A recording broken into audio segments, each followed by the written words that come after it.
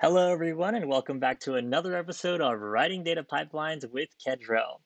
In today's episode, I'm going to show you how to supercharge your shell scripts with Kedro and utilize a parameterized Kedro CLI as a powerful tool in your terminal arsenal. And so today, if you're feeling what I'm feeling, butt that like, sub that scribe, and ring that ding so you know when I'm pipelining. Okay, let's get started. First thing that we're going to do is we're going to start up our asciinema and then attach to a tmux session. Okay, so in our last video, we created a pipeline that will download videos from YouTube using YouTube DL on the command line. The problem with our last pipeline was that in order for us to do any kind of downloading of videos, we had to continuously modify our parameters.yaml file. So what we were doing is we would manually change our YouTube URL, and then we would add in a uh, YouTube URL such as this one. Then we could run Kedro run, and the whole thing would run. Obviously, this is actually uh, very difficult to script in a shell without having to actually modify this parameters.yaml file. So is there a better way, or is there another way that we can do this? Well, I'm glad that you asked, hypothetical person. What you can do instead is by uh, removing this parameters.yaml parameter, you can instead replace that parameter with a command line argument. So this params equal to YouTube URL, and then you can pass in the URL itself.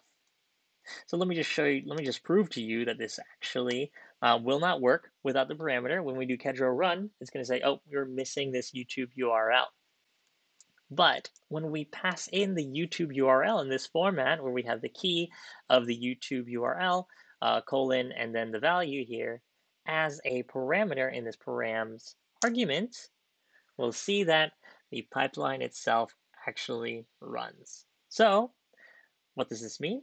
This means that because we have access to change Kedro parameters via the command line interface, we can create some powerful shell scripts that take advantage of Kedro itself to run operations. So in this case, for example, what we could do is we can create a function called KDL, which is like Kedro download.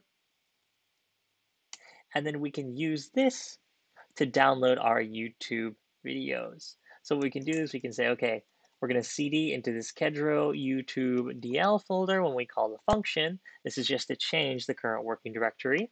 Then we're going to do Kedro run with params as the option set, and then YouTube URL as the parameter that we want to set, followed by dollar sign one, which means it's the first argument in this KDL function that will be passed through.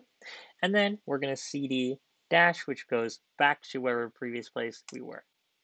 Now we can close that function, and when we run KDL, we can then pass in a YouTube parameter, and we can see it begins the download. Of course, the download will still happen only inside of this folder, uh, but one step at a time. So you can start to see, again, some of the power here of Kedro. Uh, by being able to pass these parameters into uh, Kedro CLI, you can modify your pipeline at runtime in order to download or execute in the manner that you wish it to do. And with that in mind, you can then do all sorts of different kinds of things with shell scripting, with xargs, with grep. You can do any number of things in order to get your parameters the way that you want them. Okay, well, that's it for today's video. It's a little bit of a short one, but I hope you guys enjoyed it and learned something. Thank you very much for watching. And again, if you're feeling what I'm feeling, make sure to butt that like, sub that scribe, and ring that ding when you want to know when I'm pipelining. Okay, take care, everyone. Goodbye.